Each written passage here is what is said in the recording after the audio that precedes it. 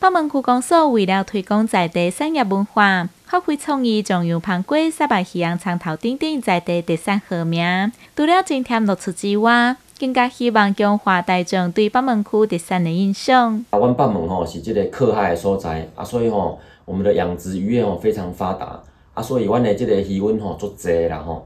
啊，阮今年吼，阮有交即个双春国小做一个结合，就是讲伫双春国小的头前吼，有一片吼非常大片的渔温吼，啊，我们来办理一个即个独木舟的即个体验活动啦。北门油盘贵阳长头以及沙白鱼本来就真有名，公司为了将民生热点所带来的人潮分流，今年积极打造优胜的观光环境，除了推出小旅行的路线，更加训练在地导览员，有系统的建构观光环境。希望进一步活化北门地区。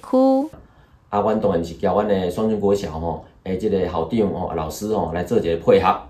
啊，这算是独一无二的啦吼，伫即个余温上可以划独木舟啊，体验独木舟的这个这个刺激的乐趣。